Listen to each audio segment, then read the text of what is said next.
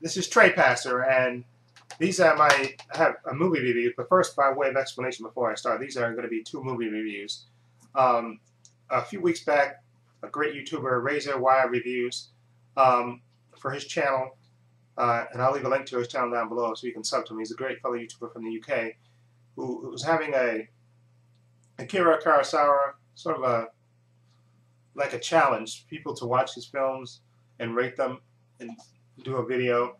And he was putting them all together in, in a one video together.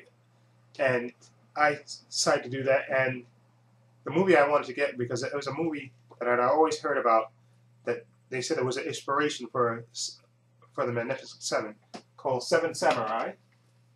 And I knew there was a criterion for it, so I ordered it Seven Samurai and watched it and thoroughly enjoyed it. And I actually did a review. If you check my videos, you'll see my full review on this movie. It is a classic, black and white, about you know these uh, this poor village that's raided by bandits who hire these seven samurai to defend them.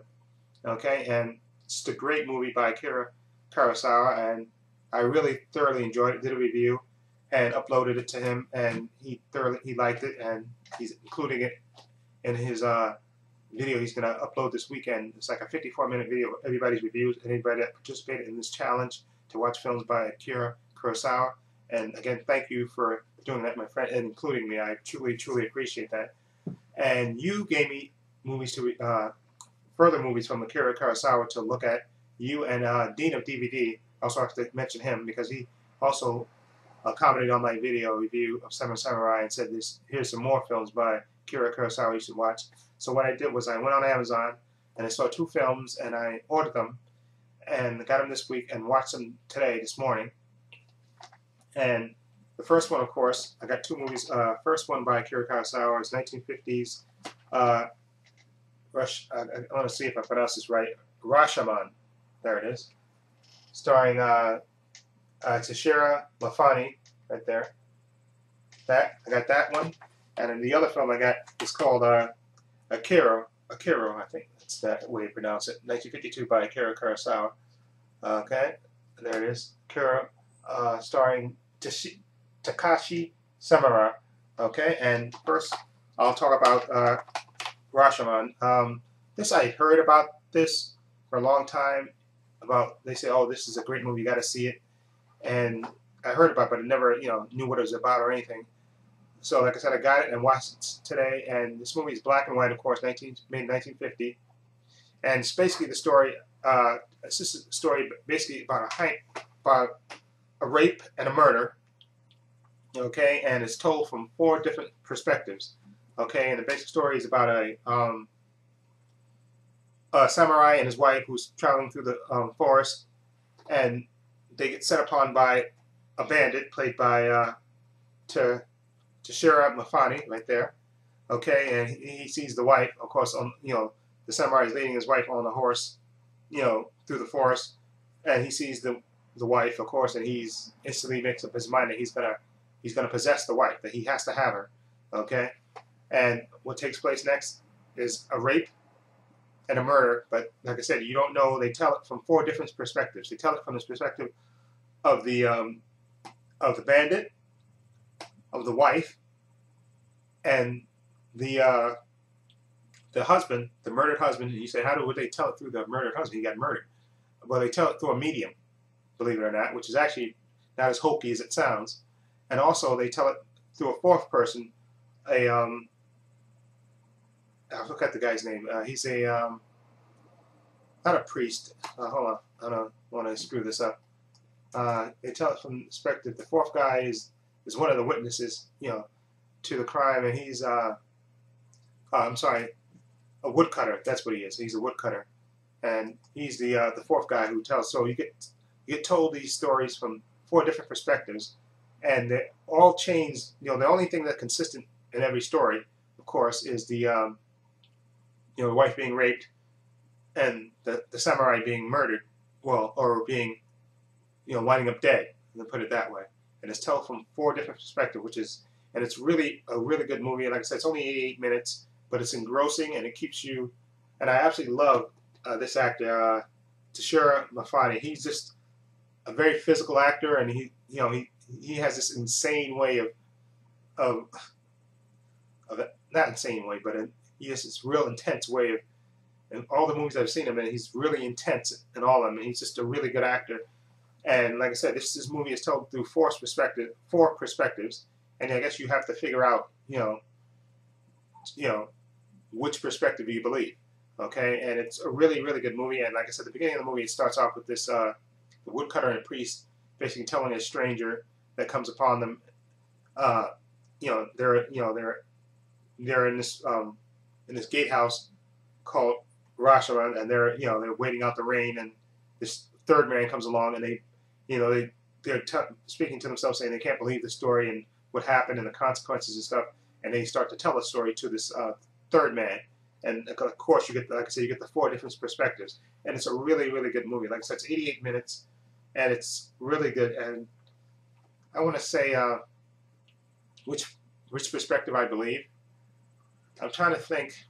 I'm kind of I was, debating this, you know, going over the, the different perspectives that you get, and I kind of believe the Bandits version of this, without giving it away. I kind of believe the Bandits version of the story. Okay, maybe it's I'm biased because I like Toshiro Mifune, but I kind of like his perspective of this, and so I, I kind of tend to believe his story. Okay, because I think it's just honest, and he's crazy, but he's honest. I think, which is kind of kind of kind of weird because he's a bandit, so he's of course. Yeah, he basically, he, you know, he sets about to rape a woman. So I mean, he's not the most trustworthy person, but I sort of believe his version of events. Okay? But it's a really good movie. Like I said, it's black and white, 88 minutes, and it's really, really good.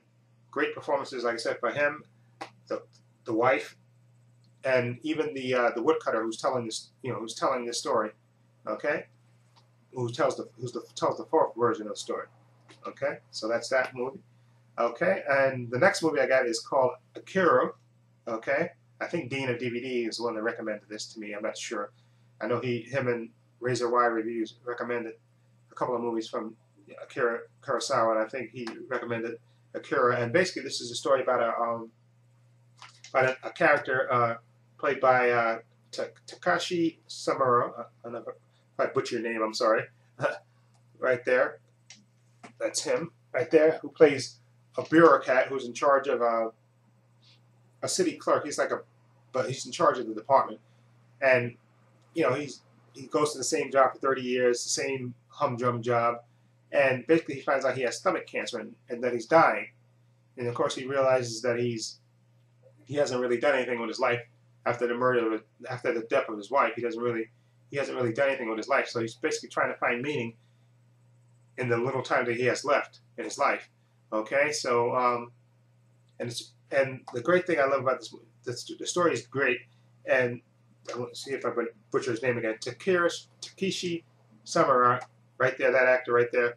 He's really, really good. I mean, he's he has such an expressive face that you know he really wears his. You know, they say people wear their expressions on their face. He really does that. He's just a really intense actor, and just you feel so much for him. You know, like I said, he's he finds out he has stomach cancer, and he's trying to find meaning in his life, and trying you know besides this the same old humdrum thing that happens to him and one night out, he meets a novelist who takes him basically out on the town for the night. And they basically hang out and, and they pick up girls and they they drink and and dance. And but basically that doesn't fulfill him. That doesn't give him a purpose. Okay. The second the second thing is the second thing that he looks for. There's a, a, a young girl, a young woman, excuse me, that works at the office at the city office that he works in and she's kind of a carefree spirit, you know, always you know full of life and laughing and stuff. And he starts to hang out with her, okay, because she's full of life and she's always you know doing things and she's laughing and, and eating and just she's full of energy and he he kind of wants to find out what her secret is to to why she's so happy and, and fulfilled and just always like full of life. And basically he hangs out with her for a couple of you know he hangs out with her for a couple of nights and to the point where she kind of gets creeped out after a while that you know why is he always hanging out with her? And and there's a great scene in the restaurant where they're hanging out where they're eating and he basically explains to her he breaks down and tells her that yes i'm dying of cancer and he's basically trying to find out why she's you know he's, he's basically trying to find out, you know, why she's so happy and what is her secret for being so happy and full of life. And of course, it totally freaks her out, and and he leaves. And but the thing that actually gives him purpose in this movie is there's a park, and this they show a great scene. Well, not a great. They show a scene in the beginning of the movie where they these uh, village, I guess these uh, civilian people, they come. These women, they come. The group of women, they come to the bureaucrat's office, and they're trying to get them to clean up this. Uh, I guess this, there's some kind of uh, some kind of spill in in the park that makes it, you know, basically dangerous for kids, and they want them. They want the city to clean it up, so they can actually make a park for people, you know, for kids to play in. And of course, they shuffle. They show a great scene of how how the bureaucracy, I guess in Japan or any city for that matter, pushes you from place to place to place to place, and and what he decides to do, that's what he's going to do. He's going to get that park cleaned up and make a park, a kids park for these. That's what he's going to. That's what's going to give him purpose. And like I said, the, just a great performance by uh, Takeshira Samura, who's just, like I said, he has a real expressive face, and it's just intense, and and he has a hard relationship with his son. You know, he just his son doesn't communicate. Even there's even one point where he tries to explain to his son that he's dying, but his son kind of cuts him off and won't hear it, and basically, you know, yells at him for hanging out with a young woman from his office, saying that, you know, you're bringing shame to the family and stuff. And it's just a really fulfilling movie. And like I said, it's a real emotional movie too. And there's a great scene at the end, which is uh, kind of iconic, that where he's in the park, the park that they uh, cleaned up, and he's on the swing, and it's snowing, and he's singing this song, uh, basically about life, and he's swinging back and forth, and it's just a, a beautifully shot scene, and it's just a great, one of the great movies. I, this is really emotional, a really an emotional movie, and definitely worth seeing. And like I said, this movie, and also Rashomon, just great. And I heard Rashomon is coming out on um, Blu-ray on I think Criterion uh, next month, November. I believe it's coming out on Criterion. So definitely going to get that Criterion of this. And like I said, Ikiru, another great movie. Basically, like I said, it's I don't I heard somebody say compare it to like A Wonderful Life, but I, think it's a little bit different than The Wonderful Life. I think it, it's more about a man finding himself, like I said, finding meaning in his life even though you know it, took it took basically his imminent death for him to break out of his malaise, but he ultimately finds a purpose, and he does something really good with it. And another great thing about this movie, um, they after that they that they uh, got to mention this earlier, he dies in the movie. He dies before the end of the movie. Okay, he dies in the park, and they have a wake for him where they have his co-workers, and they have city bureaucrats at the at the at the wake and they're talking about his life and sorry I had to record this part again. Sound wasn't playing in uh, this part where I was going. As I was saying there's a great scene at the wake for um, for the um, for the main character where they're um, sitting around his co-workers and um, I believe the deputy mayor comes and they're basically trying to downplay his role in uh, create getting the park made trying to say it was a group effort. That everybody, no one man could have done this. And then um, the deputy mayor and his fellow politicians leave, and then the rest of his coworkers are sitting around drinking sake and um, talking back and forth. And then there's one guy there that's kind of saying, "No, you should give him the credit. It was his because of his effort." You know, he's arguing back and forth with his other coworkers and stuff, and they're getting drunk and they're going back and forth, and then they vow to fulfill and be more like him and actually serve the people and not be so um, bureaucratic, you know, not you know, just, you know, actually do their jobs to the best of their ability and help people. And then later in the movie, you see towards the end where somebody comes in, I think, asking a question and they get shuffled along to another department, like before, like the other women in the movie earlier got shuffled on to these various the different departments left and right.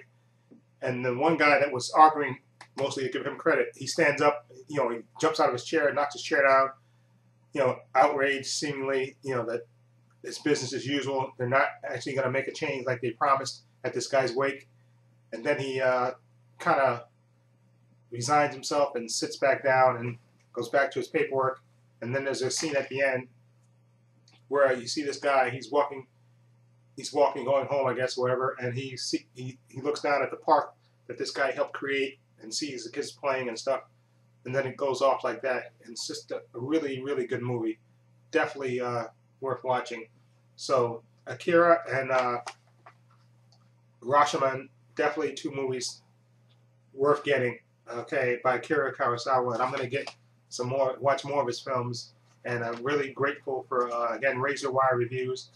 You know, Dean, Dean of DVD for you know you guys recommending these movies for me, and definitely check them out. If you've seen them, let me know what you think of them, and feel free to leave comments down below.